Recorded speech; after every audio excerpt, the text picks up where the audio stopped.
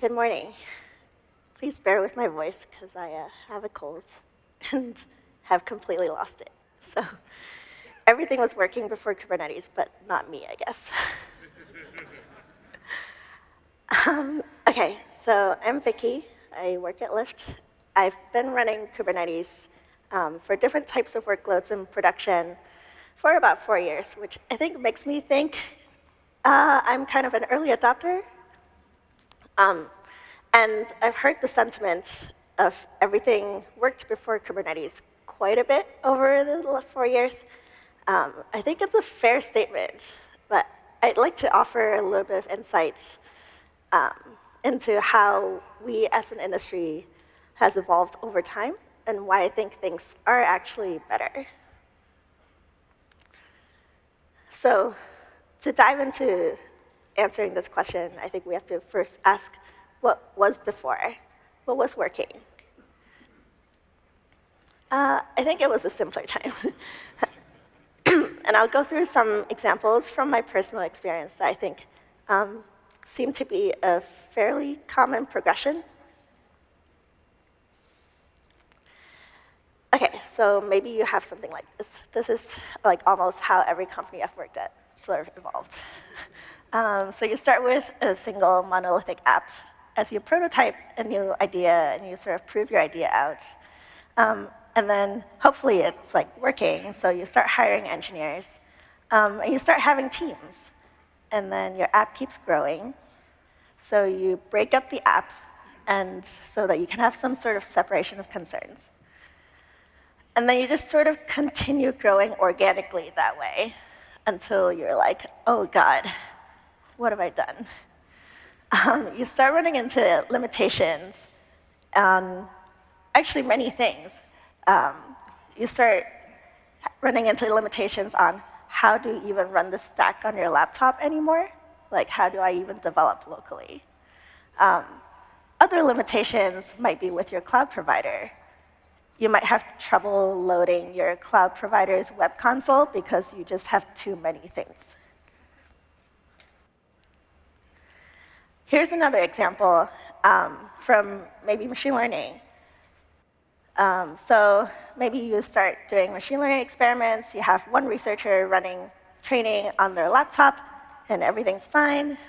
and then you start training bigger and bigger models. So now you're like, okay, that doesn't fit on my laptop anymore. So let me train on the beefy box somewhere else, maybe in a colo, maybe on a cloud. Um, and then hopefully things are going well, so you again start hiring more and more people onto your team. So now you have a fleet of these beefy boxes. And then you're like, oh, what even is running anymore? I don't know how many people have worked with um, machine learning scientists who have like literally lost their experiment somewhere because they forgot where they were running it. so, um, so I think in this model, infrastructure teams are often the bottleneck um, because you have to figure out how to manage and version control this fleet of beefy boxes. And you have to manage how to upgrade them, um, how to do security audits, and you also have to make sure that you're actually use, using your resources effectively and maybe it's because of cost savings or whatnot.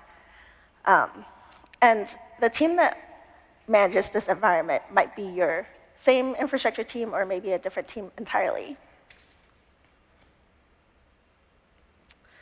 So meanwhile, hopefully, your business is booming. So you have all these new requirements. Your team keeps growing. You have all these data scientists and machine learning researchers and more. And meanwhile, you have to move fast um, and also do all these things like multi-region, sprinkle some GPUs into your fleet, um, maybe do multi-cloud. so you have to think about how to empower your engineers to be productive in this environment while like never going down. Um, you have to be online globally all the time we don't really see maintenance windows anymore. Like, this was the thing when I was little. But like, I, every time I see a maintenance windows now, I'm like, what are they doing? so, okay, so where do we go from here? There are all these requirements for your infrastructure team. You have to keep up with all these business needs. Um, how do you scale your team without being the bottleneck or the gatekeeper? Um, things were working before. They worked well enough that we got here. How do we keep them working? So we turned to the community, and step by step, we started putting the pieces together. So we are where we are because we turned to open source and started building agreements on what abstractions we wanted. Um, kind of like how we started converging on Linux as the base OS. Uh, we agreed on containers for empowering developers and moving fast, and we agreed on Kubernetes for orchestrating these containers at scale. By leveraging this huge community effort, infrastructure teams can provide flexible building blocks for their end users. And, and it, clearly that resonated with a lot of people because, I mean, we're all here.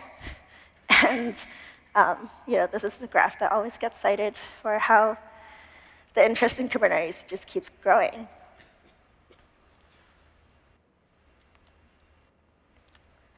So, are we, are we happy? Is everything awesome now? well, I think people make fun of how much YAML they write. I think partially it's a testament to how straightforward and extensible the Kubernetes API is, and more importantly, how user-centric it is. For non-infrastructure engineers, they can do a lot by just manipulating these YAML files. So we've sort of made a lot of progress to expose this higher level abstraction and to support all these use cases. Uh, but it's not all awesome yet. it's not rainbows and unicorns yet. So we still have some ways to go. We took on this super ambitious task of empowering our businesses and developers to meet all their needs. And Kubernetes gives us a path to achieving all of that and scale with the complexity. But the complexity didn't really fully go away. We are still supporting all these things. For the infrastructure team, Kubernetes can feel complex because in order to support all this flexibility, our infrastructure teams are taking on new responsibilities. For the end user, while their deployment to production becomes more flexible, they need to relearn aspects of development in this new world. So I want to talk through some of the specific challenges that I've encountered in my experience introducing Kubernetes to engineers and go over what the community is doing to address them and where do we go from here?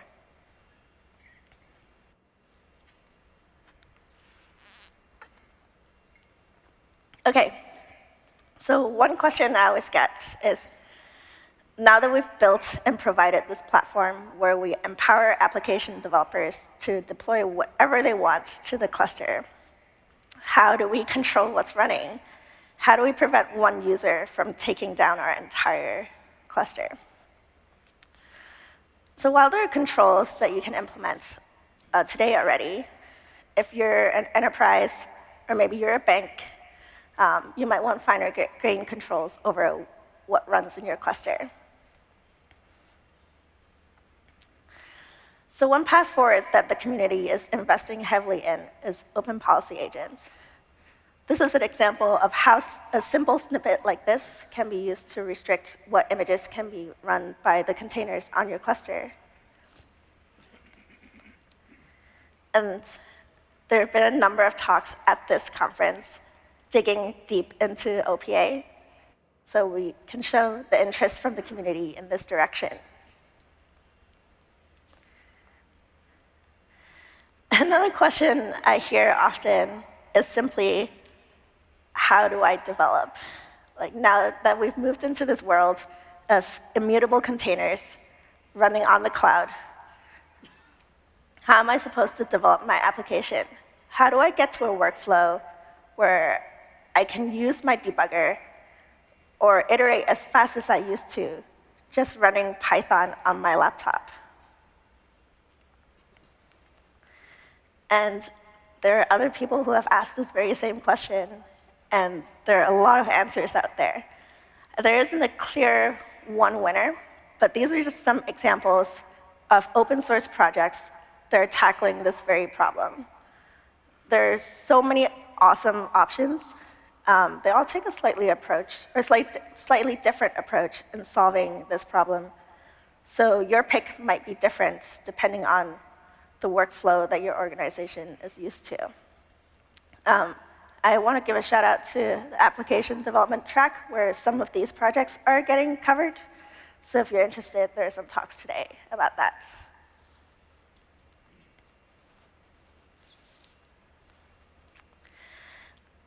Um, related to being in an immutable world, this is by far the most common question I get, which is how do I debug?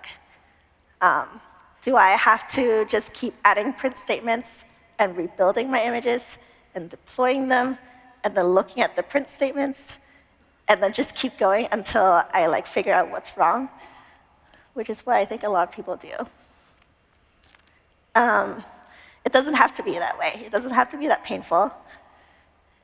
And in particular, I'm very excited about this new feature in 116, which I covered yesterday.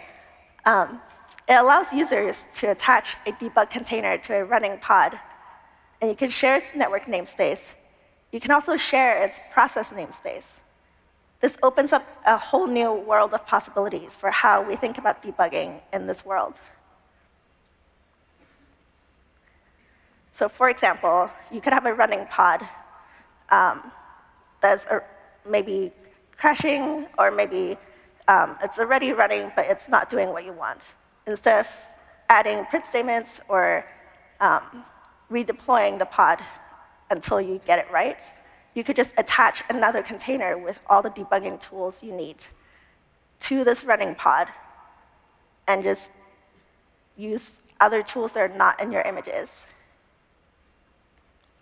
So I think one useful example for this is a lot of times people have maybe misconfigured their credentials or maybe misconfigured their network. Um, you can use this to dig into what the pod is seeing.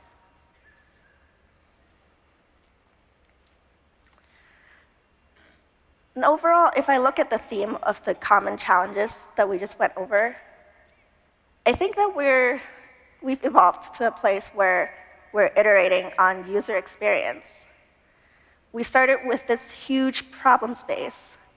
Kubernetes provided the foundation for orchestrating containers and the building blocks to power our workloads. Now that the building blocks are in place,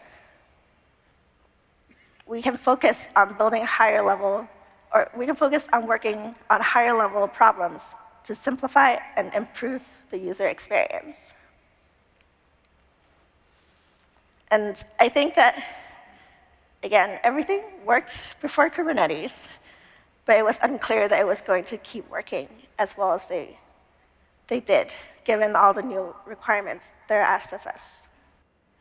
Um, and I think that, you know, thanks to the community and everyone here, we're getting there with Kubernetes.